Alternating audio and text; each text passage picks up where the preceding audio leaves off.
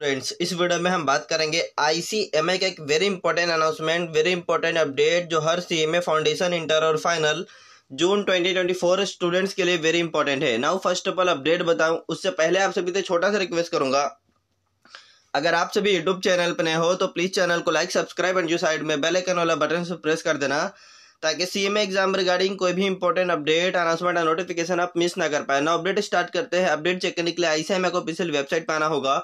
Student का section मिलेगा। Student के सेक्शन पे क्लिक करना होगा। एक एक पेपर पाएगा, उसको कट करने के बाद जैसे आप एग्जामिनेशन के सेक्शन पे क्लिक करेंगे, यहाँ पे एग्जामिनेशन के सेक्शन पे क्लिक करने के बाद ऑनलाइन एप्लीकेशन फॉर्म पे क्लिक करना होगा। Yes I C M exam form के लिए एप्लीकेशन विंडो ऑन कर दिया है। देखेंगे कि इसके पहले आप जैसे ही आते थे आई सी एम को ऑफिशियल वेबसाइट पे एग्ज़ाम फॉर्म पे एंड ऑनलाइन एप्लीकेशन पे क्लिक करते थे तो इस तरीके का जो पॉपअप आ रहा है, फाउंडेशन, इंटर और फाइनल सेलेक्ट करने के लिए पहले नहीं आया करता था।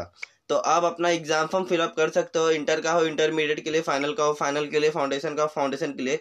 जस्ट क्लिक हेयर पे क्लिक करना होगा, आपके यहाँ पे डिटेल दिख जाएगा कि क्या क्या है इसमें। एंड एक्सेप्ट वाले सेक्शन पे क्लिक करने के बाद, यहाँ पे आपको अपना रजिस्ट्रेशन नंबर पुट करना होगा सी एम इंटरमीडिएट का हो या फिर सी एम ए फाइनल का। और वो पुट करने के बाद आगे कॉमन से डिटेल फिलअप करनी होगी एज लाइक आपका सेंटर कहाँ चाहिए आपको। आपका कौन से ग्रुप का एग्ज़ाम देने वाले हो? मोड क्या होगा एग्ज़ाम का? सेंटर्स कहाँ पे सेलेक्ट करोगे? ये कॉमन डिटेल सेलेक्ट करके अपना एग्ज़ाम फॉर्म फिलअप कर लेना आप। अगर एग्ज़ाम फॉर्म फिलअप करने में कोई क्यूरी क्वेरी डाउट आए तो व्हाट्सएप पे मुझे पर्सनल मैसेज कर सकते हो।